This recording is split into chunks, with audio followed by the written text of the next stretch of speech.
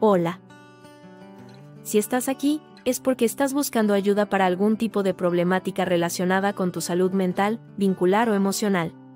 O bien, también puede ser que estés aquí simplemente porque deseas mejorar tu calidad de vida. Queremos que sepas que estás en el lugar correcto. A esto nos dedicamos, y lo hacemos con mucho gusto. Es importante que sepas que para lograrlo, primero se requiere realizar un diagnóstico en salud mental. Seguramente tienes muchas dudas y muchas inquietudes. Recuerda escribirlas, para poder después preguntárnoslas y darles la mejor respuesta posible. Pero ahorita, no te presiones. Primero lo primero. 1. Sesiones de valoración diagnóstica.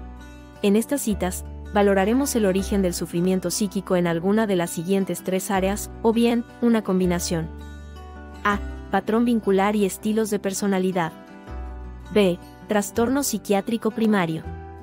C. Problemáticas diversas. A.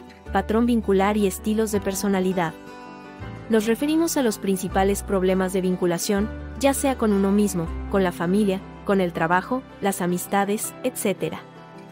B. Trastorno psiquiátrico primario.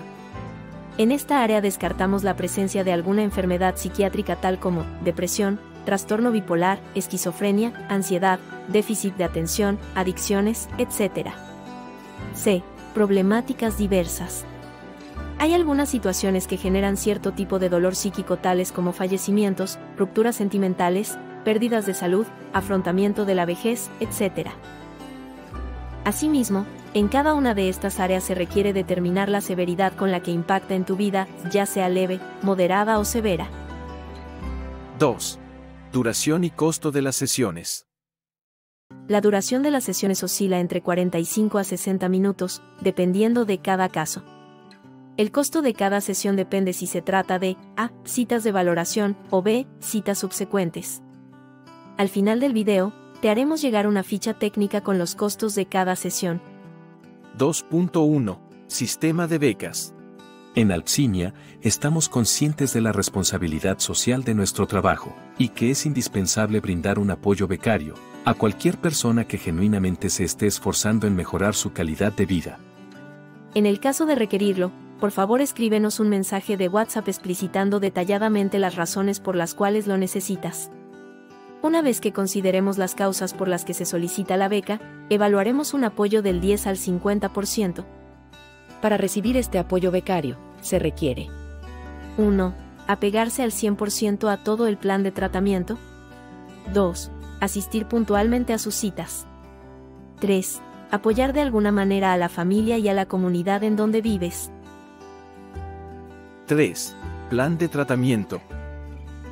Ahora bien, una vez que 1.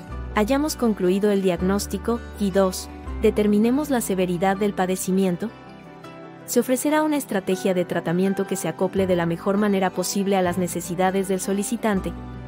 Y si así se requiere, también a su familia.